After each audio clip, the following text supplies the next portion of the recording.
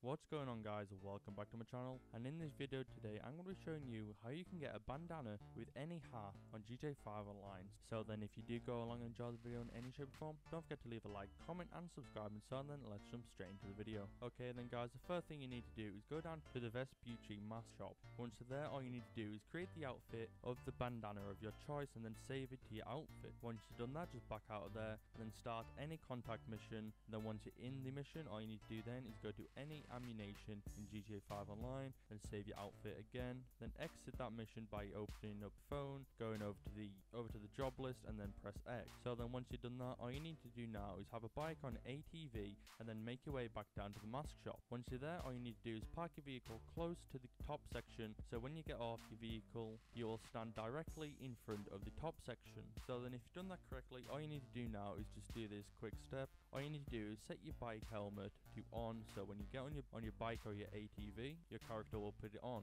You have to set this to the one you like and you want to use for this glitch. But once you've done that, all you need to do then is select the banner you want to use and then get on your bike. Once you've done that, all you need to do is turn your glasses on then off so your character puts on his helmet. Now then guys, you have to do this part really quickly to actually get it to work. So then all you need to do is get off your bike and quickly select the outfit with the bandana. Once you've done that, all you need to do then is close the interactive menu. As soon as your character starts to get his helmet off, all you need to do is click right d-pad close to the top section. And if your character has actually got the bandana on with a different hairstyle that means you have done this correctly. All you need to do is press X or square depends on which console you're on to actually save the outfit. Once you save the outfit all you need to do then is back out of the top section and as a result you will actually just get the bandana with the helmet as you would like.